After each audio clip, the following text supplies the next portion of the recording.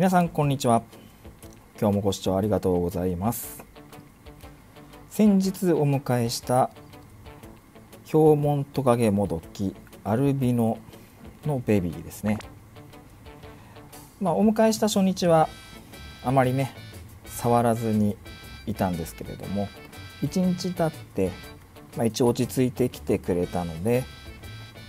今日ね体重測定をしていきたいと思います。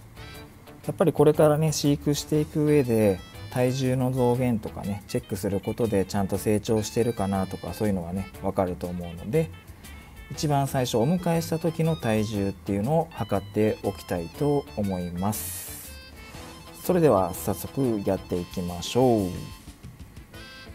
一応ショップでもらった書類によると6月の17日が輸入日っていうことなので、まあ、実際の誕生日はわからないみたいなんですけど、まあ、輸入が17日ぐらいだとね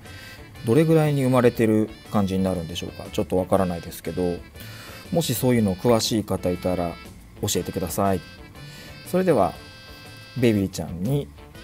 まずはケースに移ってもらいましょう。今ねちょっと探検してますねケージの中を。ちょっと最初のセッティングとちょっとねあの水水入れじゃないや。あの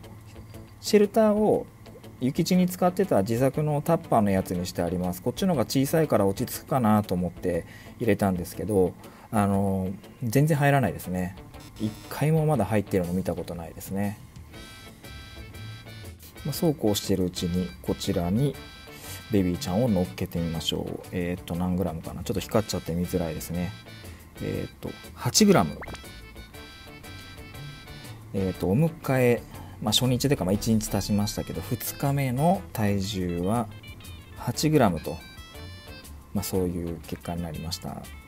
まあ、生後でもどうなんだろう？1ヶ月ぐらい1ヶ月経ってないのかな？どうなんですかね？1ヶ月弱ぐらいなのかな？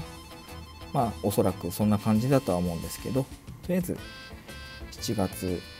2日お迎え当初の体重測定は 8g という結果になりました。はい。というわけでお迎え1回目の体重測定をしていきました。